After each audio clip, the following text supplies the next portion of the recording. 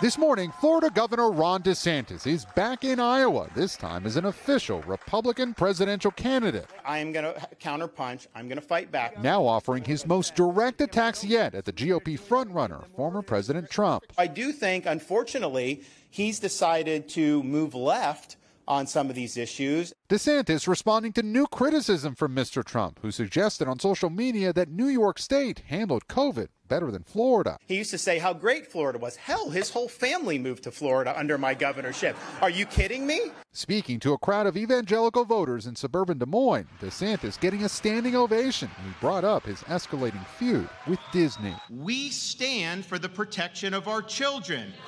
We will fight those who seek to rob them of their innocence, and on that point, there will be no compromise. Disney is suing Florida over what it says is retaliation for the company's opposition to the state's Parental Rights in Education Act, which critics labeled the Don't Say Gay law. Just last week, Trump slamming DeSantis' fight with Disney. And look at Disney and what a mess it is.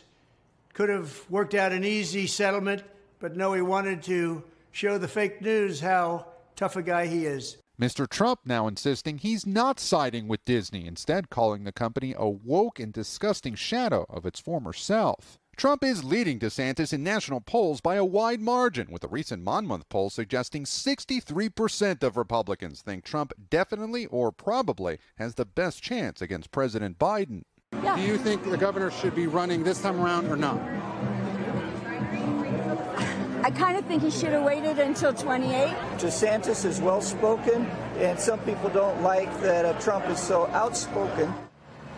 Former President Trump is also expected in Iowa later today, and Governor DeSantis will be barnstorming not just this state, but also New Hampshire and South Carolina later this week. Hoda. All right, Gabe Gutierrez for us there in Des Moines. Uh, Gabe, thanks.